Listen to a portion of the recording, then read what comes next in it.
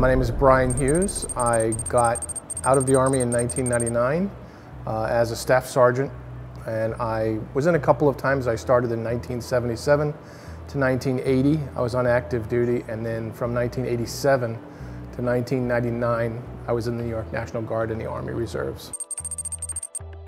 Uh, my father served in the Marine Corps uh, for a short time. Uh, I have several uncles who are in. I have an uncle who was in the second wave at Omaha Beach and he had some issues, you know, for the rest of his life based on his experiences there. Uh, I have another uncle who served in the Vietnam War. I was not drafted. The draft was over when, when I was in high school. And my goal at the time was to become a police officer. And most police officers, you had to be 21 years old. So I thought to be an MP, a military policeman, would give me some training that would help me later on in life. Well, basic training I did at Fort McClellan, Alabama. That was in 77, and that was a little shock to me. Coming from New Hampshire, um, you know, where the, winters we'd get eight feet of snow, or at least it seemed like it, going down to uh, Anniston, Alabama, where it, it, felt like it was a thousand degrees in the shade. It was kind of like a big, uh, like a big camp, you know. It was kind of fun. It was my first time away from home, and first time I had flown on a jet anywhere, and so it was all a big experience to me. It was, it was kind of cool. The missions that we had when we were in Germany, we would, we would do a week in what we called garrison duty and a week in field duty. One week we'd be on patrol, we'd do police work. I'd either work with the German police or we'd go out on our own and we'd respond to calls just like regular policemen.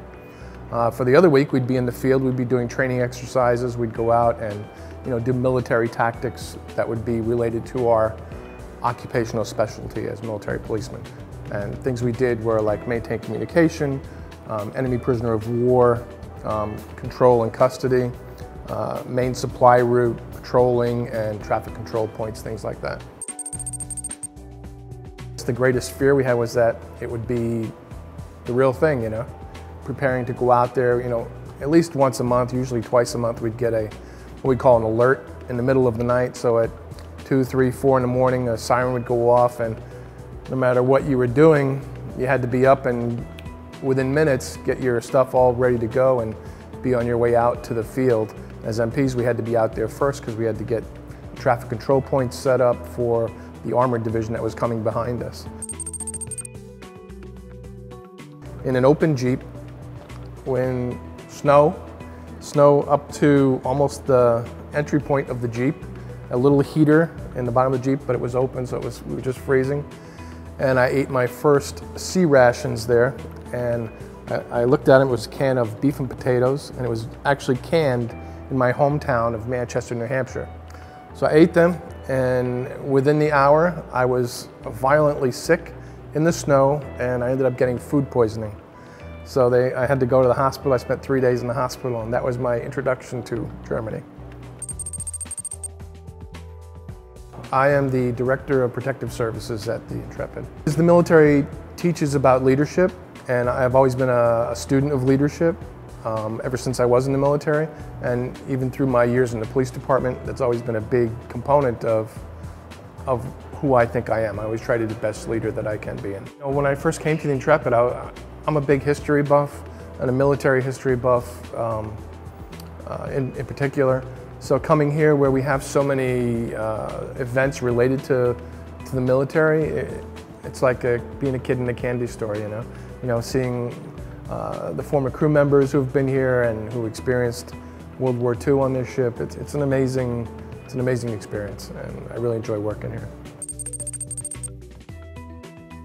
When you get to your permanent duty station, that's when you start making the friendships that will be with you for those three or four years that you're there. And those do last a, a lifetime. Uh, you know, I, I spent 21 years in the police department and you never make friendships the way you do in the Army. And I think it's because you have that sense of shared responsibility to each other that you just don't get in a civilian job. It's always meant the same thing, even before I was a veteran. Uh, you know, it started out with Armistice Day and to celebrate World War I, and then after World War II in, in Korea, it was just made to honor all veterans. Whereas Memorial Day, you're honoring veterans who were killed. Um, this is to honor people who sacrifice for their country. And you know, I don't really count myself among that because to me it was a good time. It wasn't, I wasn't sacrificing. Um, I was honored to be able to do it. Uh, but I always, I always grew up that you know, service to your country was an important, important part of being a citizen. And, you know, to me, serving in the military was what I wanted to do, to do my service for my country.